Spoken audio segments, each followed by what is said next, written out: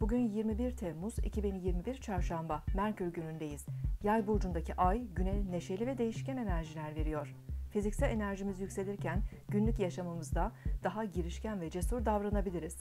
Öğle saatlerinde ay balık burcundaki Neptün'le dik açı yapacak.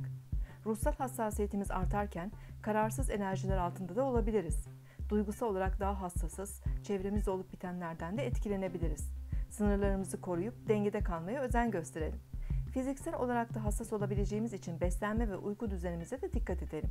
Öğleden sonraki saatlerde Yay burcundaki Ay, Aslan burcundaki Mars'ta üçgen açı yapacak.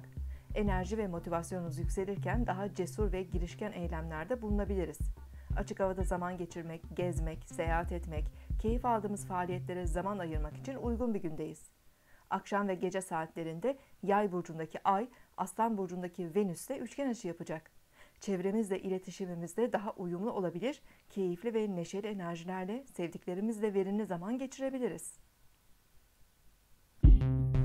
Siz de şimdi kanalımıza abone olun, yorumlar bölümüne sorularınızı yazın, sürprizlerimizden haberdar olun.